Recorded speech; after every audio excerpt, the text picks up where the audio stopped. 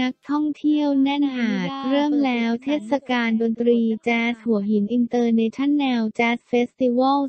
2020 คลิปนักท่องเที่ยวแน่นหาด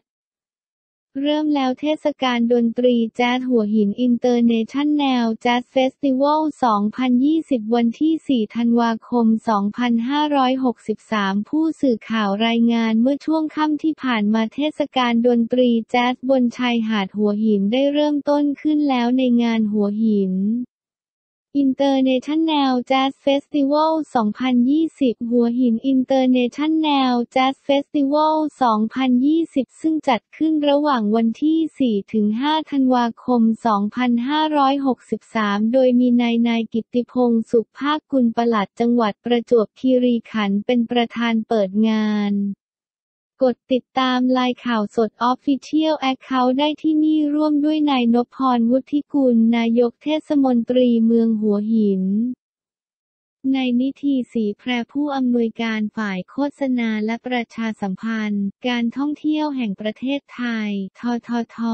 นางสาวโสรยาหอมชื่นผู้อำนวยการการท่องเที่ยวแห่งประเทศไทย ททท สำนักงานประจวบคีรีขันธ์ สมาคมธุรกิจท่องเที่ยวหัวหินชะอำตลอดจนผู้แทนหน่วยงานต่างๆ เข้าร่วมในพิธีเปิดงาน ท่ามกลางนักท่องเที่ยวทั้งชาวไทยและชาวต่างประเทศหลายพันคน ที่พร้อมใจกันมาร่วมงานเทศกาลดนตรีแจ๊สที่ดีที่สุดบนชายหาดหัวหิน โดยบรรยากาศเป็นไปอย่างคึกคัก แม้คลื่นทะเลจะแรงกว่าช่วงเวลาปกติ แต่ช่วยให้อากาศภายในงานเย็นสบาย ทำให้นักท่องเที่ยวต่างสนุกสนานและมีความสุขกับการชมดนตรีบนชายหาดในครั้งนี้เป็นอย่างมากสำหรับงานเทศกาลดนตรีหัวหิน International Jazz Festival 2020 จัดขึ้นในระหว่างวันที่ 4-5 ธันวาคม 2563